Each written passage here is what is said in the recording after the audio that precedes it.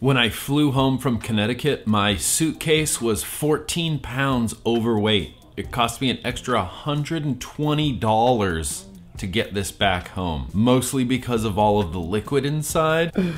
Oh my gosh, so much stuff. Oh. One dope thing I got, I got a, a, little bit of a gift bag from, I believe his name was Jordy. I'm not 100% sure. Oh my god, I might be wrong about that. Oh my god, I might be wrong about this. Giving proper credit where credit is due to the proper person is really important to me, and I don't know why I can't remember people's names. I think his name was Jordy. Look at Pickle Rick bobblehead. Out of everything I got at NVE, out of all the liquids, whatever, devices, toppers, drip tips, dude, Pickle Rick bobblehead?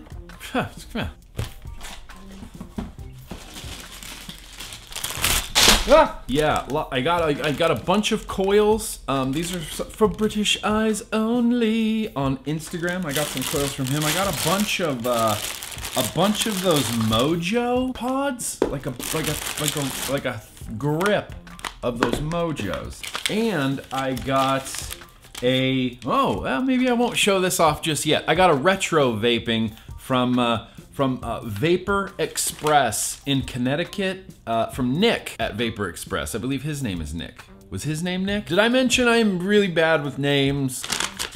But yeah, I got a retro vaping that I'm excited about. In fact, I got two retro vapings that I am really excited about at NVE.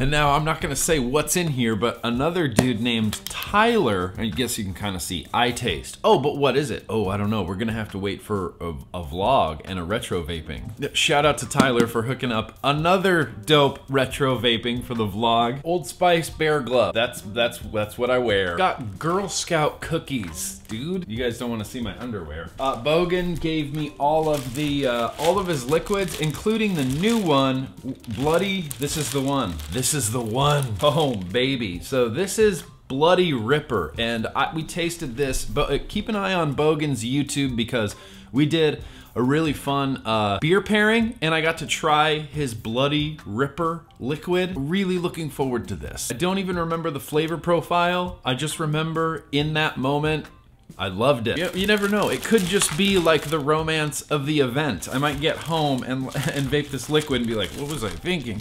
Oh, and TVL TVL donated some uh, Revenants, two two TVL Revenant Deltas that are gonna be uh, you know giveaway two dollars, right? Two dollar sales. And, but and Bogan brought me from Australia uh, some hot tomato sauce. This is a thing in Australia and he wanted me to have it and it's hot tomato sauce and he says tomato and I kept saying tomato. Yeah, it's like the old saying goes. Also, I mean, come on, clutch beer koozie. awesome. This is the bag with all of the liquid in it. This is this is all liquid in this bag. Yeah, I'm 100% sure this is what made my bag overweight. A few things I'm excited about are, are these liquids right here. Mango sticky rice, pineapple sticky rice, and coconut sticky rice. This is made by uh, Gold Leaf Drip, the same people that do that uh, Hooch Pure Banana that I love so much. I went over to their booth, tasted some of their liquids, I couldn't I couldn't pass up the mango sticky rice. Mango sticky rice is just an e-liquid flavor that I really really like. I also got some of these uh, Sad Boy e-liquid. Everybody there was walking around vaping the Shamrock Shake. Maybe because it was St. Patrick's Day, but everybody was vaping Shamrock Cookie.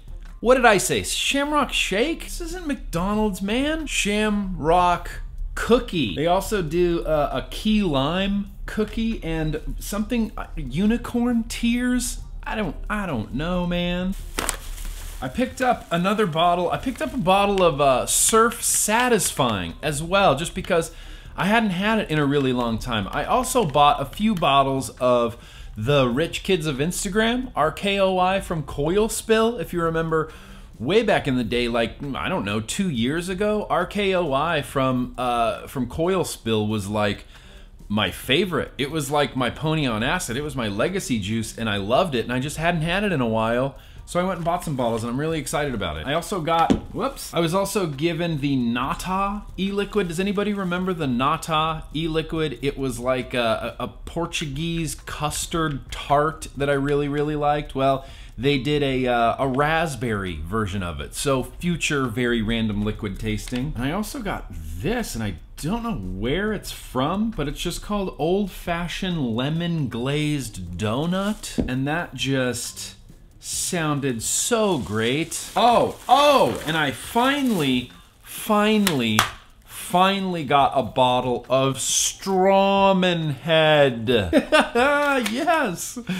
I forgot about this. I'm not sure if anybody's a, a podcast listener, but Ruby Roo used to vape this juice, Strawman Head, and every time she said it, the name of it, Strawman Head, it made me chuckle. And I've never had this liquid, and I'm so excited to finally try it. Strawman Head. Oh yeah. Also, all this stuff. There was honestly a lot of like uh, Salt Nic and Pod companies uh, there, and I, I I was given just a mountain of these uh, these new disposable guys, which you know, disposables, right?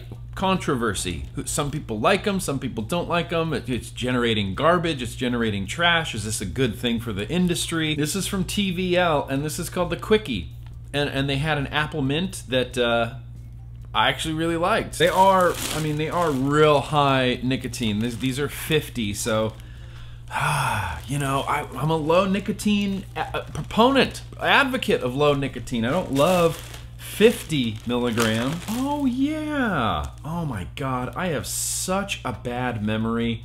I don't even know if I can talk about this mech mod right now. I need to I need to do some research and try to figure out where this mech mod came from. I can't remember the name of the company, but it's based, I believe, on the original Manhattan mech mod. Or or it is the original Manhattan mech mod, but modified. Ah, okay, I'm gonna need I need to do some more research on this mech mod before I even can talk about it. Oh yeah, and this was a retro vape.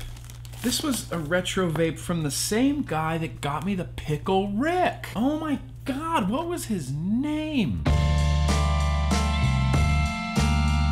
Well, it, it's a Lotus with a mystery RDA on top here. I'll cover it up. And it came pre-installed with a Daily Vape TV sticker. So, pre-stickered. And I also got this fucking rad squonker. And look, you know, I like blue, I like purple, I get it. This kind of looks like a squonker that Casey Pickle might use instead of myself, but dude, I don't even care. I like blue and I like purple. That is that is that is pretty slick. Again, writing people's names down would be really helpful. I know Jess knows who this person is. Let me, let me text Jess and see who, who got this squonker. Where is my phone? All right, well, we'll see what Jess says, but I want to give proper credit where credit is due because this is kind of a dope little squonker. It comes with a square bottle and there's like a, it's fully mechanical and there's a 3D printed little button lock on the inside that just sits on there. It's just simple and it works. Oh yeah, this. I got a little tiny posable skeleton guy. Oh my gosh, I can't believe I don't remember this guy's name. Again, it, oh, fuck me running. Um, this was a gift. This was a very gracious gift. He showed me his Instagram and he takes pictures of like mods and atomizers and stuff with this like little posable skeleton, like chilling with his stuff. And you can even get like little accessories for the skeleton. Like you just put a put a tiny little hat on the tiny little skeleton and have him like pose with a bottle of liquid. That's awesome. I just you know I I love stuff like this. It just I don't know makes me really happy. Oh yeah, and my fucking Dreamer Ardent. So. Here, let me tell you the story behind why this is even in this bag. I brought this because I had the bright idea like, oh, I'll grab Stan, we'll sit down, we'll shoot some video, we'll talk about the Dreamer, the Ardent, maybe we'll even build it like together. We'll build the ardent and you can talk about why he did things that he did and we could vape it together. And i had this whole video planned and then there's just not enough fucking time in the day to accomplish everything you want to at an event. So the Ardent really just took a trip to NVE and back. It didn't even leave my hotel room. It just flew there and then flew back. So I don't know. We'll talk about the Ardent uh, real soon. Oh yeah, I got some t-shirts. Look at that. Big purple Aspen Modco t-shirt. And what's this? Yeah, boosh. Look at that.